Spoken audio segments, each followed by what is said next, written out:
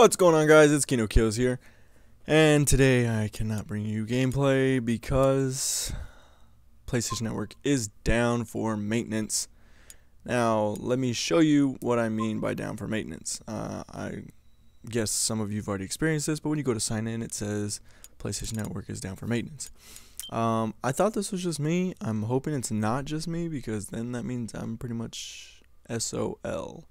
So, if this is all of you, I mean, I guess it'll come back on pretty soon. They'll, they're not gonna have it down for a few days because that would be terrible. They're trying to, they're gonna lose a lot of people. Anyways, they're trying to bring it up as fast as possible.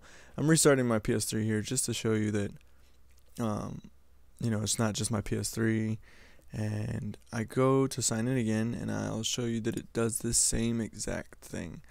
So I don't know why they're doing this. I guess maybe it got hacked again. I don't know. But um, I guess leave me a comment.